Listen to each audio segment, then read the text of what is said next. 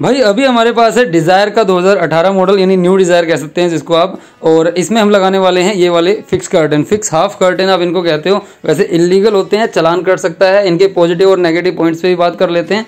और आपको लगा के दिखाते हैं कि ये किस तरीके से इनकी जो है वो फिटिंग आती है। ये है डिज़ायर का पंद्रह, अठारह, सत्रह, आप कह सकते हो, दस, ग्यारह के बाद जितने मॉडल आए थे सबके अंदर यही है। छोटी डिग्गी वाला जो है, और लगाना आपने देख लिया, बिल्कुल आसान है। खाली ऐसे इसको हल्का सा बैंड करना है, तार को इसको ऐसे फिक्स कर देना है इसके अंदर।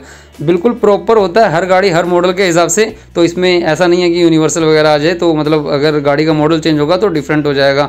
यानी अगर आप ओल्ड डिज़ायर की और लेटेस्ट डिज़ायर की बात करें तो उनमें भी काफ़ी डिफरेंट है और ये तार है जो इस तरीके से इसके अंदर ये फिक्स हो जाती है इसमें, हर तरफ़ से। क्वार्टर ग्लास जिस भी गाड़ी में होता है, उसमें क्वार्टर ग्लास नहीं आता क्योंकि ये जो बीच में इसके पत्ती सी होती है लोहे की, ये पार नहीं करने देती इसको। तो इसमें बिना क्वार्टर ग्लास के ही आता है। दूसरी साइड भी लगा देते हैं, एक कन्फर्मेशन हो जाएगा। जैसा कि आप देख सकते हैं, बिना क्वार्टर ग्लास के है पीछे वाला हिस्सा।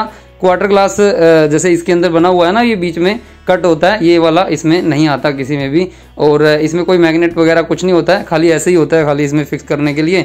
और बस इसको बेंड करना है तार को, और ऐसे ही डल जाएगा। इसमें निकालना चाहो तो हल्का सा इसको बेंड करके आप अंदर बैठ के गाड़ी में निकाल सकते हो। यानी जैसे मैग्नेटिक में होता है ना, गाड़ी खोलनी पड़ती है, यानी गेट खोल के फिर निकालना होता है, इसमें कुछ नहीं निकालना होता। दूसरी तरफ़ से आप देख सकते हैं, वो दोनों लग चुके हैं। पीछे का इसमें क्वार्टर ग्लास नहीं है, और आगे का जो साइड ग्लास होता है, वो देखने के लिए इसमें स्पेस होता है। देखो, लगाने का तरीका बिल्कुल सिंपल सा है। ये आप चाहें तो आगे भी कर सकते हैं, लेकिन ऐसा होता नहीं है तो आपको इसको ऐसे पीछे ही लगाना पड़ेगा। मतलब ज़्यादा अच्छा तभी लगता है। और साइड ग्लास इसका अच्छा खासा बड़ा होता है तो उसी हिसाब से इसमें जो स्पेस है, वो पूरा है, आप इसमें देख सकते हैं।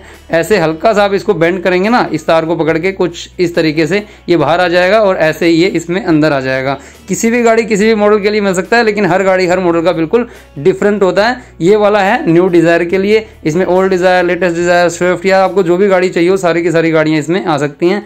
इलीगल होता है, चलान इसका कट सकता है, लेकिन आप इसको अंदर बैठ के ही निकाल भी सकते हैं। ज़्यादातर जगह पे चलान नहीं भी होता है। तो आप अगर ज़्यादा चेकिंग हो रही हो तो आप इसको अंदर बैठ के ही निकाल सकते हैं। विजिबिलिटी आप इसमें देख सकते हैं अंदर बाहर, दोनों तरफ़ से कैसी है। ये वाला है प्रॉपर डिज़ायर के लिए।